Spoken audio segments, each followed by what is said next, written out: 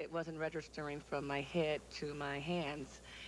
And um, I didn't think that I would be able to play again. But it was, again, God that was trying to get my attention. And I, I had to work to get my playing back. I have to explain to you, I had a really major big head complex. I, I was really, I was crazy. I was crazy. And um, I could play darn near anything. And I exhibited that. And um, I have been humbled. God talked to you? God was seriously talking to me. And I decided to listen this time. And so now, if he can bring me back and have me play in situations like this where I have an opportunity to play, then my job is to show people and tell people that nothing's impossible with God and, and it can work and, and whatever you think you can't do, it's not about you anyway. It's about him and, and he can make it happen. So we're not simply talking here about physical rehabilitation, we're talking about mental, emotional, and spiritual rehabilitation that you had to undergo in order to play again. Yeah, it, but it was physical as well because I, I really could not play. I mean, I could play chords, but I could not physically move my, my motor developmental skills as I once was able to do. So I was, I was physically impaired as well. Yeah, I was. Humbled, but not reduced in talent by any means at all. And that's one of the mm -hmm. reasons why Kim Jordan is back, and one of the reasons why we're going to ask her to play for us again on this Valentine's edition of Evening Exchange. And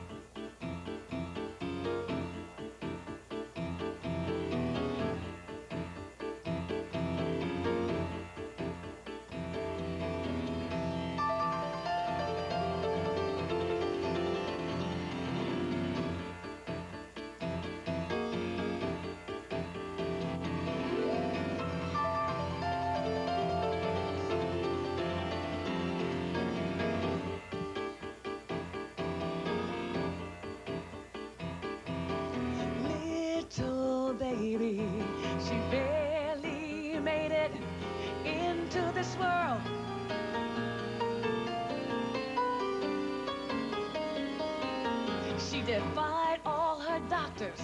And now she is a perfect, healthy little girl. She is a miracle. Can't explain just, just how. Candy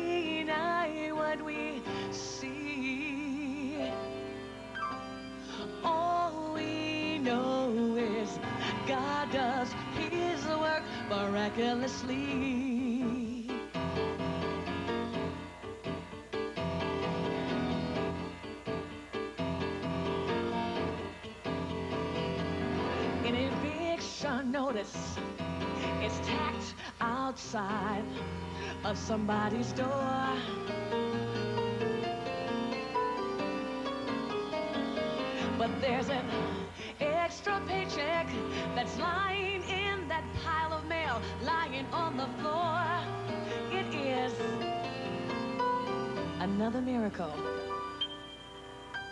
We can't explain just, just how. Can't deny what we see. All we know is God does his work miraculously.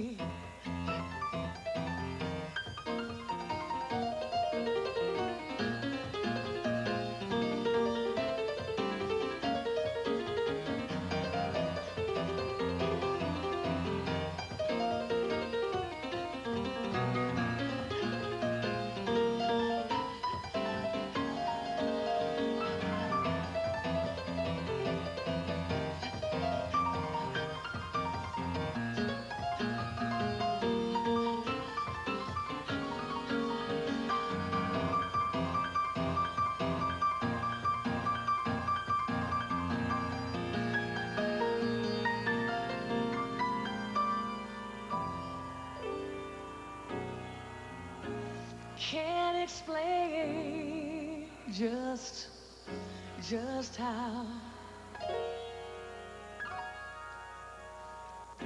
Can't deny what we see.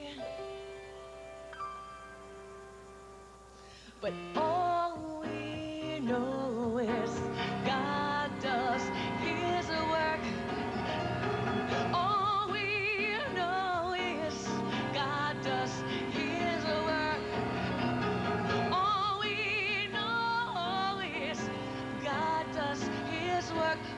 carelessly.